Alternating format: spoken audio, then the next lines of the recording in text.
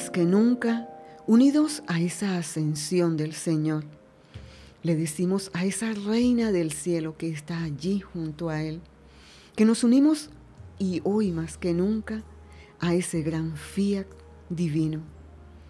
Y le decimos a esa reina del cielo, soy toda tuya, reina mía y madre mía, y todo lo que tengo es tuyo. Santa María, Madre de Dios y nuestra, te coronamos como reina de nuestra familia. Amén. Continuamos desde Radio Natividad, la emisora católica del Táchira, con ese gran fiat, con esa gran lección amorosa, con ese gran tesoro que nos ha dejado nuestra Reina del Cielo. Acogernos a ese gran fiat, a ese gran fiat de hágase tu voluntad, según el ángel lo había dicho, ya que con ese sí de la Santísima Virgen María, esa, ese sí cambiaría el destino de todos nosotros los humanos y que fue esa parte esencial, esa misión de ese sí de la Santísima Virgen María. Vamos entonces con ese gran entusiasmo a nuestra Reina del Cielo a iniciar hoy con el día número 16 de esa gran obra, la Reina del Cielo en el reino de la divina voluntad. Vamos a seguir a seguir introduciéndonos en esa en ese saber cómo nuestra Madre amorosa finalmente nos hace que se haga esa santa voluntad del Padre Creador, no la nuestra. Oración a la Reina del Cielo para cada día del mes de mayo. Reina Inmaculada, celestial Madre mía, vengo sobre tus rodillas maternas para abandonarme como tu querida hija en tus brazos para pedirte con los suspiros más ardientes en este mes consagrado a ti, la gracia más grande, que me admitas a vivir en el reino de la divina voluntad. Mamá Santa, tú que eres la reina de este reino, admíteme como hija tuya a vivir en él, a fin de que no esté más desierto, sino poblado de tus hijos por eso, soberana reina, a ti me confío, a fin de que guíes mis pasos en el reino del querer divino. Y estrechada a tu mano materna, guiarás todo mi ser para que haga vida perenne en la divina voluntad. Tú me harás de mamá, y como a mi mamá, te entrego mi voluntad para que me la cambies por la divina voluntad y así pueda estar segura de no salir de su reino. Por eso te ruego que me ilumines para hacerme comprender qué significa voluntad de Dios. Día número 16 de la Reina del Cielo en el reino de la divina voluntad. En la casa de Nazaret, cielo y tierra están por darse el beso de paz la hora divina está cerca. El alma a su mamá reina.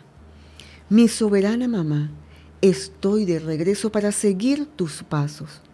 Tu amor me ata y como imán potente me tiene fija y toda atenta a escuchar las bellas lecciones de mi mamá. Pero esto no me basta si me amas como hija, enciérrame dentro del reino de la divina voluntad, donde viviste y vives, y ciérrame la puerta, de modo que, aunque lo quisiera, no pueda salirse más.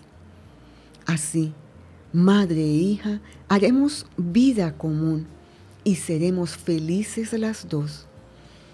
Lección de la Reina del Cielo. Hija mía queridísima, si tú supieras cómo suspiro por tenerte encerrada en el reino de la divina voluntad.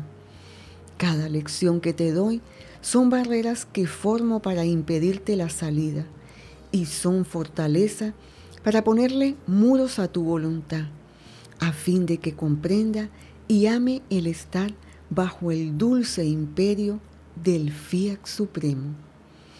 Por eso, sé atenta en escucharme, porque no son otra cosa que trabajo que hace tu mamá para atraer y raptar tu voluntad y hacer vencer la divina voluntad sobre ti. Ahora, amada hija mía, escúchame. Yo partí del templo con el mismo valor con el que entré, y solo por cumplir la divina voluntad, yo fui a Nazaret y no encontré más a mis queridos santos, a mis queridos santos padres. Iba acompañada solo de San José, y yo veía en él a mi buen ángel que Dios me había dado para mi custodia. Si bien tenía legiones de ángeles que me acompañaban en el viaje, todas las cosas creadas me hicieron reverencias de honor y yo agradeciéndoles le di a cada cosa creada mi beso y mi saludo de reina y así se llegó a Nazaret. Ahora, tú debes saber que San José y yo nos velamos con reserva y sentíamos el corazón desbordante, porque el uno quería hacer conocer al otro que estábamos atados a Dios con el voto de virginidad perenne.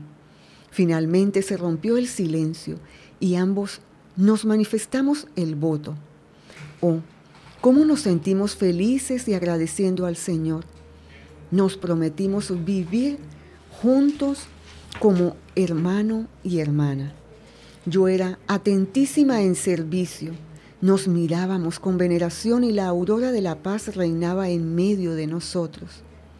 Oh, si todos se miraran en mí para imitarme, yo me adaptaba a la vida común.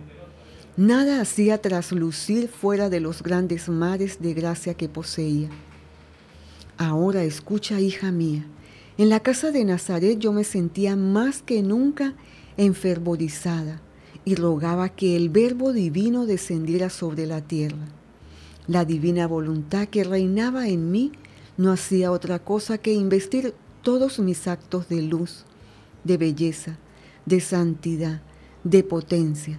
Sentía que formaba el reino de la luz, pero la luz que siempre surge, el reino de la belleza, santidad y potencia que siempre crece Así que todas las cualidades divinas que el fiat divino extendía en mí con su reinar me llevaban la fecundidad.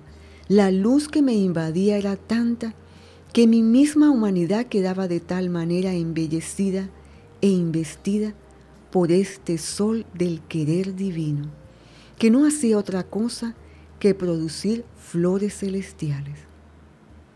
Yo sentía que el cielo se abajaba hasta mí, y que la tierra de mi humanidad subía, y cielo y tierra se abrazaban, se pacificaban para darse el beso de paz y de amor, y la tierra se disponía a producir el germen para formar al justo, al santo, y el cielo se abría para hacer descender al verbo en este germen.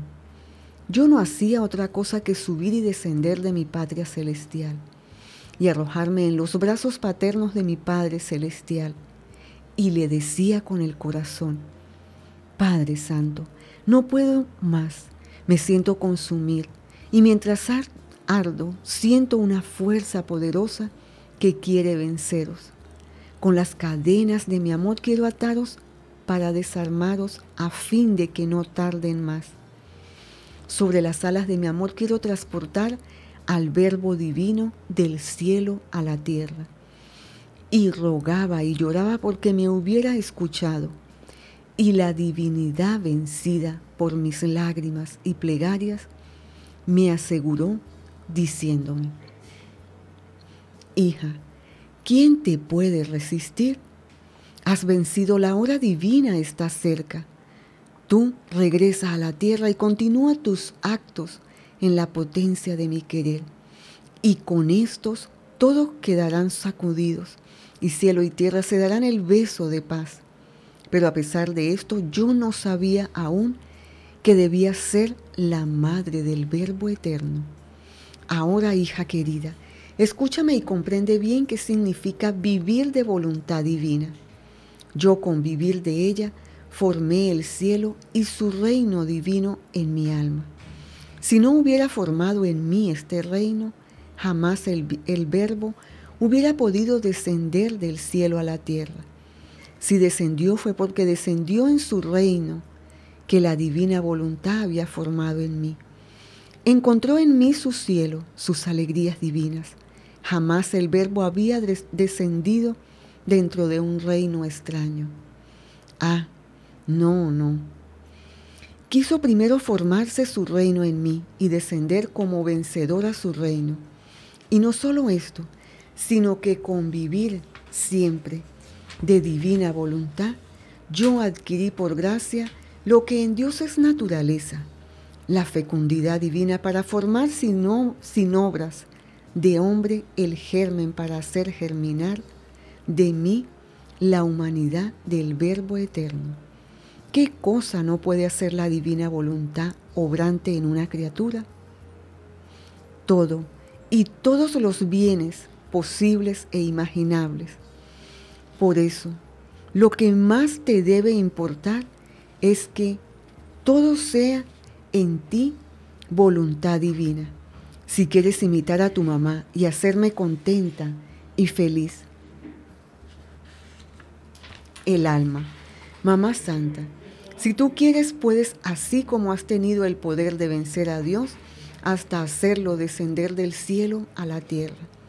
No te faltará el poder de vencer mi voluntad a fin de que no tenga más vida. Y yo en ti espero y de ti todo obtendré.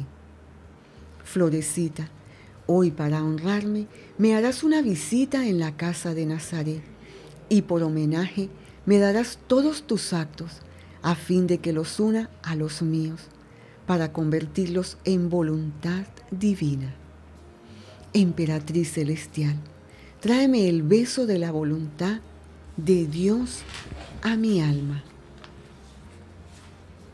Dios te salve María, llena eres de gracias, el Señor es contigo, bendita tú eres entre todas las mujeres y bendito es el fruto de tu vientre Jesús.